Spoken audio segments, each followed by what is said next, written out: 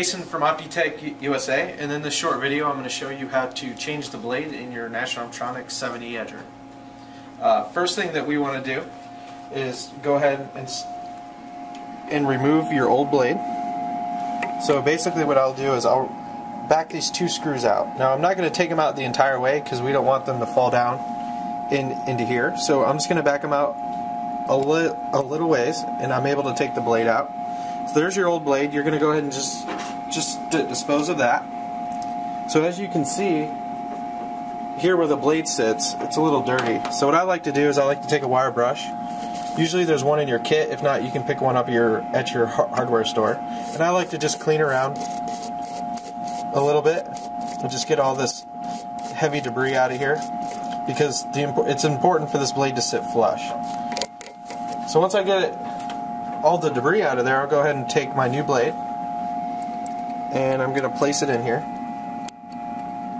And it should go in fairly easy. You may have to back the screws out just a little bit more.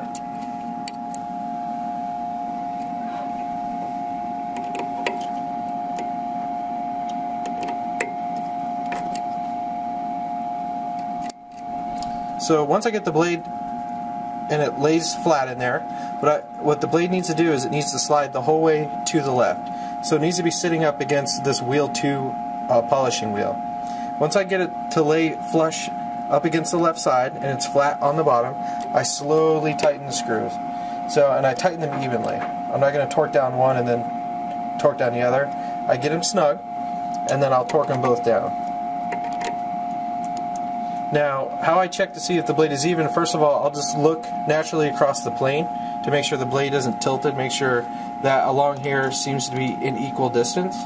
And the next trick I'm going to do is I'll take my finger and from the wheel I run it across the tippy top of this blade, the very edge, and if I feel a snag on my finger, then that means the blade is sitting slightly higher than the polishing wheel and it's not fitting sitting flush inside where, where the blade is supposed to do. Now if you get a snag in your finger, you just want to remove this blade out and you may have to take this plate the whole way out and then you just want to clean in here. There's a piece of debris or something that's causing it to sit higher.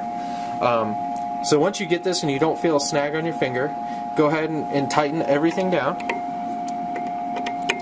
and then you are good to go as far as a new blade goes. And and then the the next video we'll uh, talk a little bit more about the kit calibration of this new blade.